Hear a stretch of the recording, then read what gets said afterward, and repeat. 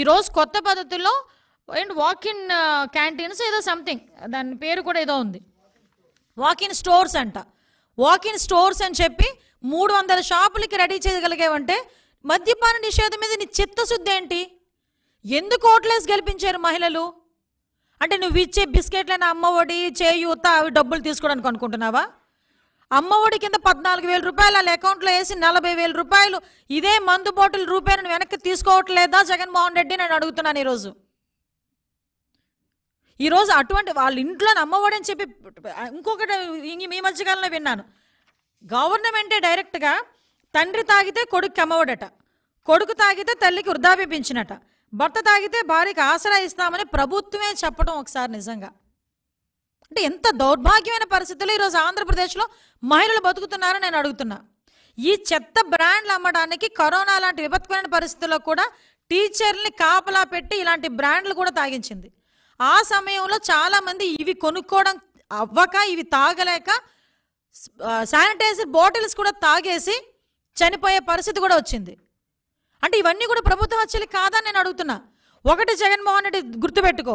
నీ బ్రాండ్లు ఏదైతే ఉన్నాయో ఈ బ్రాండ్లు తాగి చనిపోయిన ప్రతి ఒక్కరిది కూడా నువ్వు హత్య చేసినట్టుగానే మేము భావిస్తాం. నీ కుటుంబ సభ్యులు హత్య చేసినట్టుగానే మేము భావిస్తాం. ఎందుకంటే కనీసం రెండు క్లియర్గా డాక్టర్స్ కూడా చెప్తున్నారు. ఇలాంటి బ్రాండ్ సంవత్సరం పాటు తాగితే చాలా ఈజీగా చనిపోతున్నాడు ఎందుకు చనిపోతున్నాడో కూడా తెలియదు ఈరోజు ఆడబిడ్డల తాలూకా తాలిబొట్లు అంటే నీకు అంత చులకనగా కనిపిస్తుందా? ఒక ఇంటికి పెద్ద కుటుంబ పెద్ద సంపాదించే వ్యక్తి తాగుడుకు బానిసయి మద్ నకిలీ మద్యం. నకిలీ మద్యం తాగి బానిసయ్యి చనిపోతే ఆ కుటుంబ పరిస్థితి ఏంటి? ఎవరు ఆదుకుంటారు అనుకుంటున్నావు? నువ్వు వచ్చి ఆదుకోవడానికి నీకు అది దిక్కే లేదు.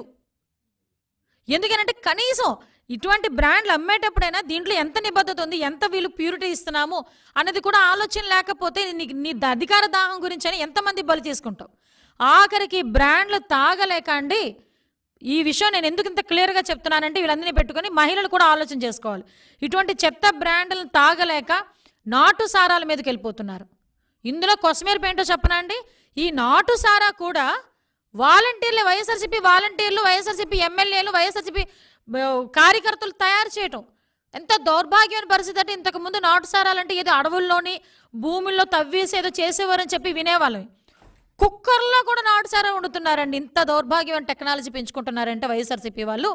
అంటే ఆదాయ వనరులకి ఎలాగైనా మేము చేయగలమనే ఉద్దేశంతో కుక్కర్లో కూడా నాటు సారాలంట ఈ రెండున్నర సంవత్సరాల కాలంలో పది సంవత్సరాల వరకు ఎంత గంజాయి అయితే రవాణా అయిందో ఈ రెండున్నర సంవత్సరాల కాలంలో అంతకి మించి గంజాయి రవాణా అయింది.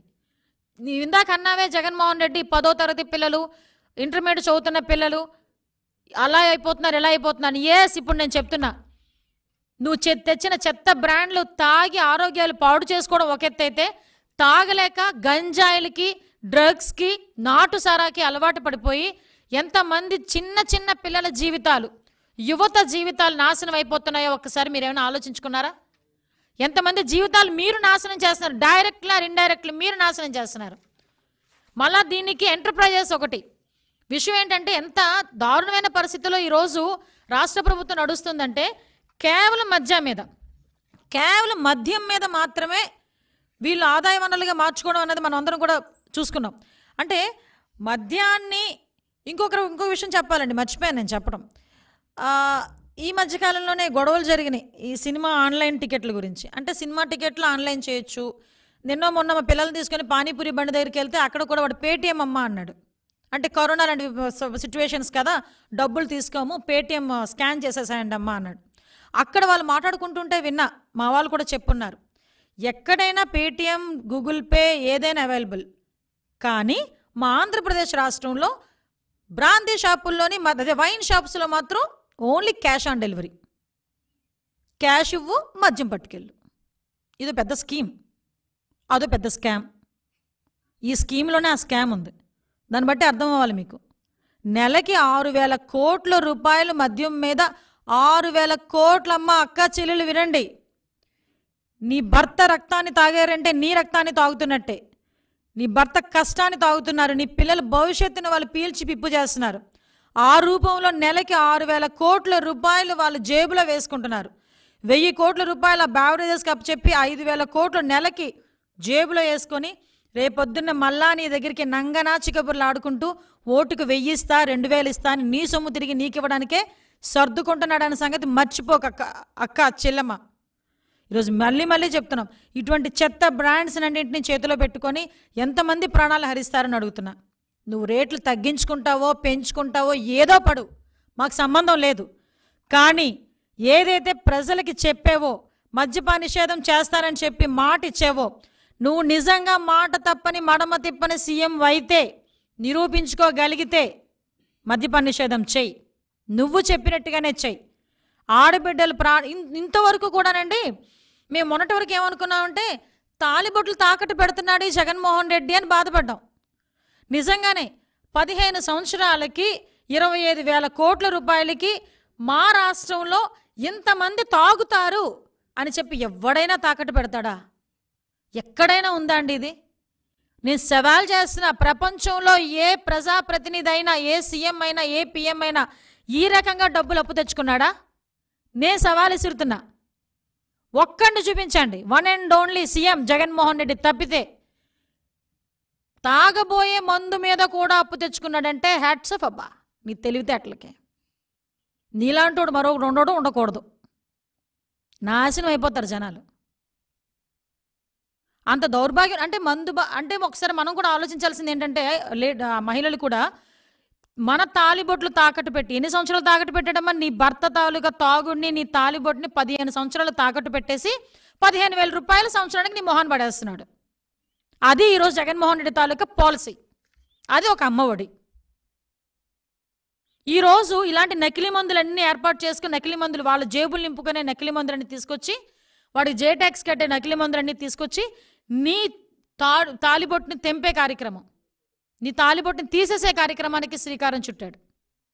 మళ్ళీ ఏమైనా మాట్లాడితే ఎంత నంగనాచి కబుర్లు ఆడతారండి సీఎం గారు.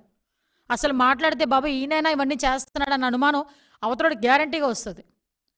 ఇలాంటి దిక్కుమాలిన బ్రాండ్లన్నింటినీ కలిపి తీసుకొచ్చి ప్రాణాల మీద తీ తీసుకురావడం ఒక ఎత్తు అయితే ఈరోజు ఇటువంటి ఏరులే పారుతుంది మద్యం.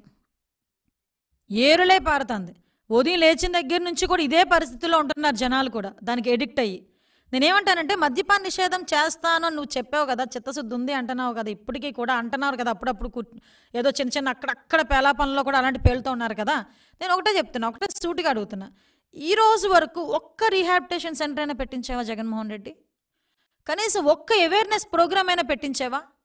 ఒక్క అవేర్నెస్ ప్రోగ్రామ్ ఈ రెండున్నర సంవత్సరాల కాలం సవాల్ చేస్తున్నా. మహిళా కమిషన్ చైర్మన్ మహిళా ఎమ్మెల్యేలు మహిళా మంత్రులకు అడుగుతున్నా. ఏ ఆ రోజు సీసాలు బదులు కొట్టిన పెద్ద మనుషులందరూ ఏమైపోయారు ఈరోజు నోర్లిప్పడానికి?